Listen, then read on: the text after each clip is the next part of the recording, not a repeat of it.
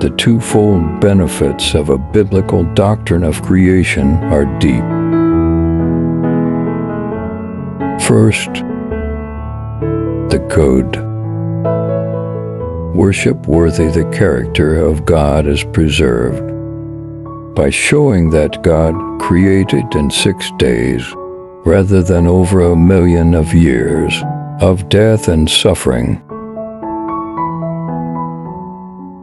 Second, the gospel of the cross of Christ is preserved by a recent creation followed by a fall and a global flood.